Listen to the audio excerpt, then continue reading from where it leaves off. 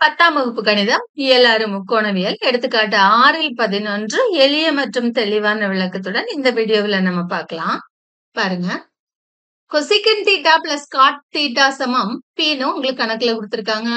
Cos theta சமம் B square minus ஒன்னு by B square plus ஒன்னுன்னு நம்மள நிரூபிக்க சொல்லியிருக்காங்க. சரிங்களா? நீங்க இந்த பக்கம் எடுத்துட்டும் இதை கொண்டு வரலாம்.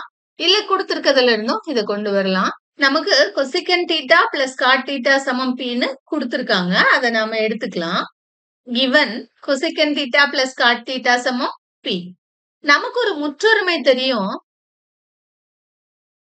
Cosecant square theta minus cot square theta சமம் ஒன்று. இதை நாம A square minus B square formula படி எக்ஸ்பெண்ட் பண்ணுவோம். அப்ப என்னவாகும் பாருங்க? Cosecant theta plus cot theta A plus B into A minus B cosecant theta minus cot theta சமம் ஒண்ணுன்னு ஆயிரும். இதுல கொசிகன் தீட்டா பிளஸ் காட் தீட்டாங்கிறது பிக்கு சமம்னு கணக்குல கொடுத்துருக்காங்க. அதனால இங்க பி போட்டுக்குங்க. பி இன்று cosecant theta minus cot theta சமம் ஒன்று. பிய நம்ம அந்த பக்கம் கீழே கொண்டு போயிடலாம். அப்படின்னா என்ன இருக்கும்? Cosecant theta minus cot theta சமம் ஒன்று பை பின்னு இருக்கும். கணக்குல நமக்கு cosecant theta plus cot theta சமம் பின்னு சொல்லியிருக்காங்க நாம cosecant theta minus cot theta சமம் ஒன்னு பை பின்னு கண்டுபிடிச்சிருக்கோம். இத ஒண்ணுன்னு வச்சுக்கோங்க இத ரெண்டுன்னு வச்சுக்கோங்க. முதல்ல நாம ஒன்னையும் ரெண்டையும் கூட்டுவோம்.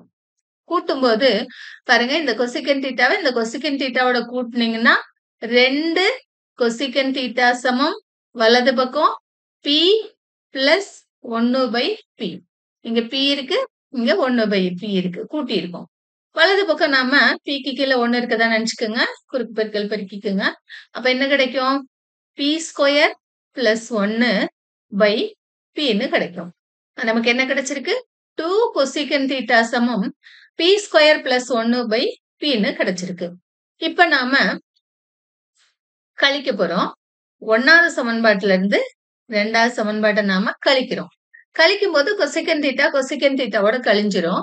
காட் தீட்டா இங்க பிளஸ் காட் தீட்டா ஆயிரும் அப்ப நமக்கு ரெண்டு காட் தீட்டா கிடைக்கும். சமம். இங்க பி இருக்கு. கழித்தல் இங்க ஒன்னு பை பி இருக்கு. முன்ன பண்ண மாதிரியே பண்ணிக்கோங்க. குறுக்கு பெருக்கல். கீழே ஒன்று இருக்கதா நினைச்சுக்கோங்க. இது அங்க கொண்டு போங்க. போச்சுதுன்னா பி ஸ்கொயர் மைனஸ் ஒன்னு பை பின்னு நமக்கு கிடைக்கும்.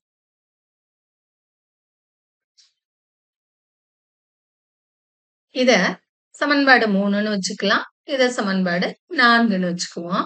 சமன்பாடு நான்கு சமன்பாடு மூன்றால வகுக்க போறோம். வகுத்தோம்னா நமக்கு என்ன கிடைக்கும் பாருங்க? இடது பக்கம் டூ காட் தீட்டா கீழே டூ கொசிகன் தீட்டா.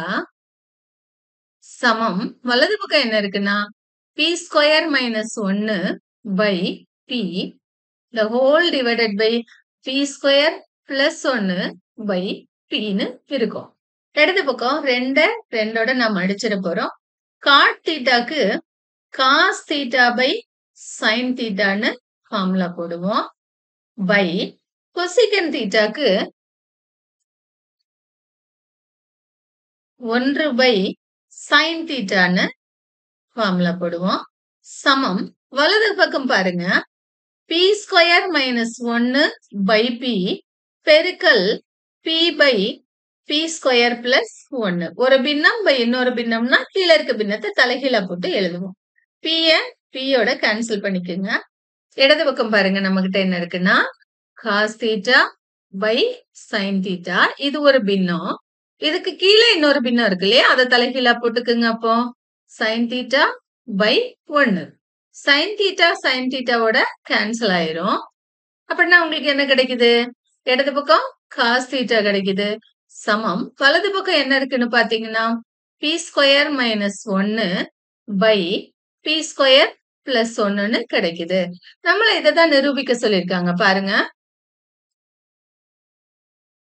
கணக்குல இதை தான் நிரூபிக்க சொல்லியிருக்காங்க. காஸ் தீட்டா சமம் பி ஸ்கொயர் மைனஸ் ஒன்னு பை பி ஸ்கொயர் பிளஸ் ஒன்னுன்னு நிரூபிக்க சொல்லியிருக்காங்க. அதை நாம நிரூபிச்சிருக்கோம். நன்றி மாணவர்களே.